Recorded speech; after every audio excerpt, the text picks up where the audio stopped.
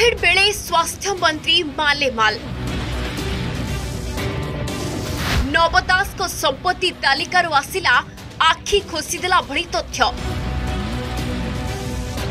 ଦୁଇ ବର୍ଷ ପରେ ସମ୍ପତ୍ତି ତାଲିକାକୁ ସାର୍ବଜନୀନ କଲେ ମନ୍ତ୍ରୀ ଓ ମୁଖ୍ୟମନ୍ତ୍ରୀ ତାଲିକାରେ ସବୁଠୁ ଧନୀ ନବୀନ ପଟ୍ଟନାୟକ ଆଉ ସବୁଠୁ ଗରିବ ପ୍ରଫୁଲ୍ଲ ମଲ୍ଲିକ ଚର୍ଚ୍ଚାରେ ସ୍ୱାସ୍ଥ୍ୟମନ୍ତ୍ରୀ ନବକିଶୋର ଦାସ କୋଭିଡ ଭଳି ସ୍ଥିତିରେ ନବ ବିତାଉଥିଲେ ବିଳାସମୟ ଜୀବନଯାପନ।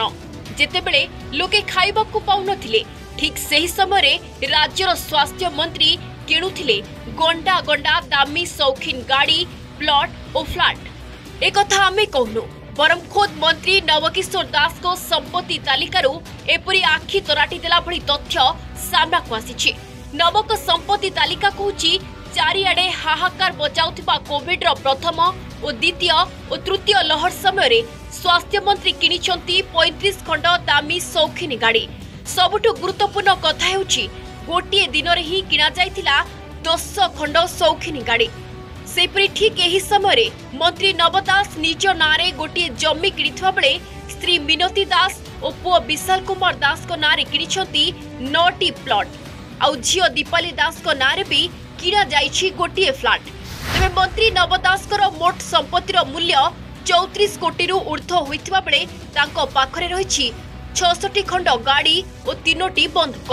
କୋଭିଡ କେଳେଙ୍କାରୀକୁ ନେଇ ସ୍ୱାସ୍ଥ୍ୟ ବିଭାଗ କାଠଗଡ଼ାରେ ଛିଡ଼ା ହୋଇଥିବା ବେଳେ ମନ୍ତ୍ରୀଙ୍କ ଏହି ସମ୍ପତ୍ତି ତାଲିକାକୁ ନେଇ ପ୍ରଶ୍ନ ଉଠିଛି ଏଥିରେ ଗୋଟିଏ ନିଶ୍ଚିତ ଭାବରେ ଦୁର୍ନୀତିର ଛିଟା ଜଣାପଡ଼ୁଛି ମନ୍ତ୍ରୀମାନେ ସେବକ ହିସାବରେ ସରକାରଙ୍କର ଦାୟିତ୍ୱବାନ ଆ, ନେତା ହିସାବରେ କାମ କରିବାର ଅଧିକାର ଯେଉଁଠି ଅଛି ସେ ଜାଗାରେ ଏତେ ସମ୍ପତ୍ତି କଲେ କେମିତି ଏଣୁ ଏ ସରକାର ସମ୍ପୂର୍ଣ୍ଣ ଭାବରେ ଦୁର୍ନୀତିଗ୍ରସ୍ତରେ ପଡ଼ିଛି ଏଗୁଡ଼ା ପ୍ରହସନ ଡ୍ରାମା କିଛି ଏଥିରେ ବିନ୍ଦୁଏ ସ୍ୱଚ୍ଛତା ନାହିଁ ଏଗୁଡ଼ା ପାଣିର ଗାର ଏ ଯେଉଁ ରିପୋର୍ଟ ଆକ୍ଚୁଆଲ ରିପୋର୍ଟ ଆକ୍ଚୁଆଲି ସମ୍ପତ୍ତି ତାଲିକା ସେପଟେ ଦୀର୍ଘ ଦୁଇ ବର୍ଷ ପରେ ମନ୍ତ୍ରୀ ଓ ମୁଖ୍ୟମନ୍ତ୍ରୀଙ୍କ ସମ୍ପତ୍ତି ତାଲିକାକୁ ରାଜ୍ୟ ସରକାର ସାର୍ବଜନୀନ କରିଛନ୍ତି।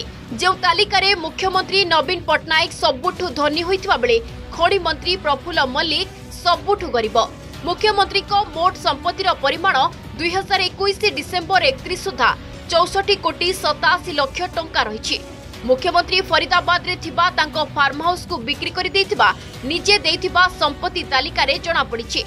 ଏହି ଫାର୍ମ ହାଉସ ବିକିଥିବା ବେଳେ ମୁଖ୍ୟମନ୍ତ୍ରୀ ପ୍ରାୟ ନଅ କୋଟିର ଆରବିଆଇ ବଣ୍ଡ କୋଟିଏ ଟଙ୍କାର ପୋଷ୍ଟାଲ ସେଭିଂ ଓ ପ୍ରାୟ ଏକ କୋଟି ଏଗାର ଲକ୍ଷ ଟଙ୍କାର ଟର୍ମ ଡିପୋଜିଟ୍ ରଖିଛନ୍ତି।